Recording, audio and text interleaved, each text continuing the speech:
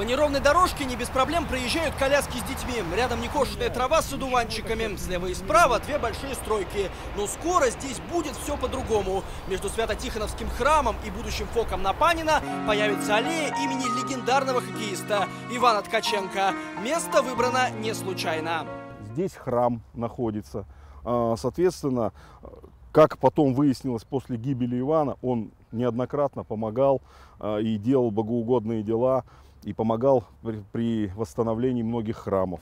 Соответственно, здесь зона спортивных сооружений, и как бы вот это все в комплексе а, позволило всем нам прийти к единому знаменателю, то есть к единой позиции. Максим Диконенко вместе с общественницей Еленой Богдановой в честь Ивана Ткаченко хотели переименовать аэропорт Туношна. Следом остановились на улице или аллее. Идею поддержали городские и областные власти, а также отец легенды Леонид Ткаченко. Сам-то я, естественно, активного участия никакого не принимаю. Это вопрос людей. Люди хотят, чтобы был такой сквер или такая улица или еще что-то. Значит, значит, так оно и должно быть. Они считают нужным, что это необходимо для города.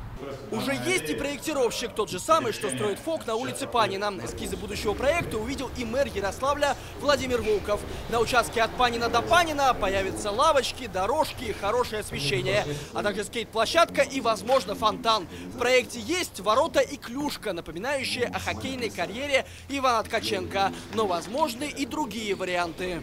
Прорабатываются различ, различные дизайнерские решения от э, покрытия, э, как э, выполнить покрытие, э, имитирующее следы, оставляемые лезвием конька на поверхности льда, так и выполнить там, естественно, традиционные какие-то стелы с информацией, чтобы максимально просто, без метафор объяснить, к чему данное благоустройство мы посвящаем. Но окончательное решение будет принято после обсуждения на градостроительном совете и беседы с жителями района. Тогда же будут понятны и источники финансирования.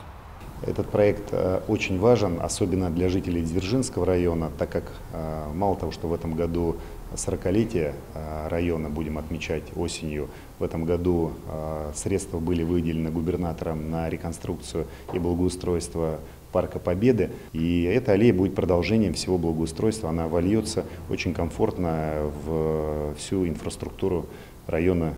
Когда на этом месте появится аллея имени Ивана Ткаченко, вопрос пока открытый, сроки неизвестны, но одно уже сейчас понятно. Память о нашей легенде номер 17 будет иметь еще одно воплощение. Дмитрий Жданюк, Георгий Иванов и Денис Сахаров. День в событиях.